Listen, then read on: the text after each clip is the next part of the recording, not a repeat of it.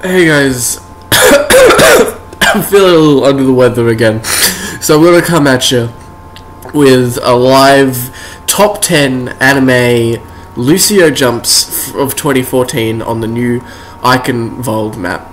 Let's get going. Okay, so this map is is very tall. It's a tall map. It's Michael Jordan, so you you you have a massive advantage on this map as the Brazilian boots moose do. So the first job is is this little spot here, just next to the choke point. Um, what you got to do is you got to go around here, slippy slide on that, slippy slide on that, and you're behind the enemies and away from your team because you're a completely useless piece of shit. This one's great. See that platform up there? So what you got to do is just go back away from it. Fuck! you got to get up to this platform, right? So what you got to do is you got to speed boost backwards.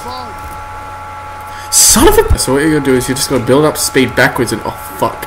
Ah, pranked you. There's a platform here the whole time. That jump's really helpful if um, you want to look like a fucking idiot.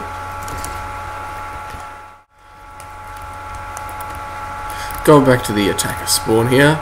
Uh, now, this building here is is very helpful. It's got a health pack in it. So here's how to get in. A lot of professional players don't know this. Right there. Now, lots of people say use the door, but you're a Lucio and you're cooler than that. Now, honestly, people get stuck at this choke point a lot. So what you've got to do is you got to jump up here. Just do that. Then, now, before the enemy team catches you, speed boost over here and jump off the cliff because this map's fucking impossible. Here's another little glitch I, that was recently uncovered by people on Reddit recently. Um, if you just glide on this a little bit, then your game will glitch out and you'll turn into Hanzo, which is actually needed for the next um, trick, which is now we've activated Horde mode. Uh, this is a mode added in beta by the developers. Um, so essentially, you just get a lot of fucking Torbjorns following you around, and you got to fight them off. If you die, uh, it deletes your BattleNet account. so you better not fucking die, because I mean I've never, I've never died in this before. I'm pretty professional at it. Uh, while we're here, I might show you the, the fucking Torbjorns. So I got a new BattleNet account, um, and so I could show you these cool jumps on this map. Just shit. Wow, I actually fucking hit that. Fuck! Hope you guys know that Overwatch is fucking expensive as shit. Um.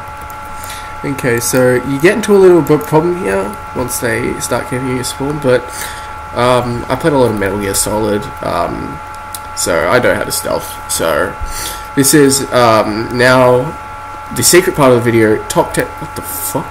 Top ten stealth maneuvers on Hanamura during um, fucking what did I call this part again? During Horde. At this point, Overwatch has turned into the survival horror game. A lot of people talk about how Overwatch was supposed to be a different game, um, like a like an RPG, like World of Warcraft, except fucking good. But like, what people actually don't know is that it was actually meant to be shit. That it was actually meant to be a survival horror game.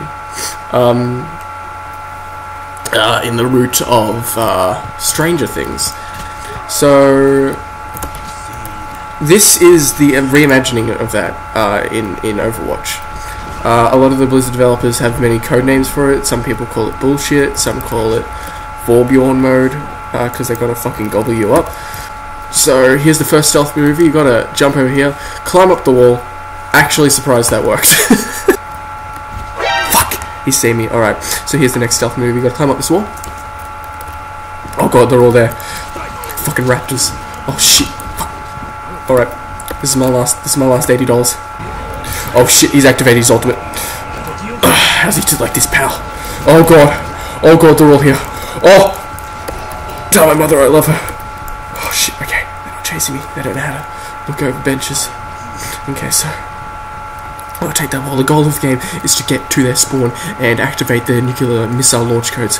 Thing is, though, I've killed some of them, so they should be coming out of their spawn now. There are multiple strategies for this min-maxing. There's a bubble strat. Oh god, they're behind me. They're right behind me. Alright, just keep going. Use use the walls to your advantage. Whew, okay. Alright, we're almost there. Okay. It's a fantastic spot. People don't even know this exists in the real game. Alright, nuclear launch codes are right inside that Murloc. All we have to do is defeat the boss. Fuck, he's right there. Okay. We keep going. Oh god, they're right, they're right down there. Okay.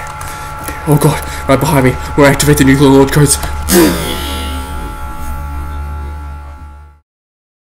Alright, so because we completed that, I have uh, gained a loot box. Uh, so this is a very special loot box. It contains just the finest of uh, loot. So let's open it up.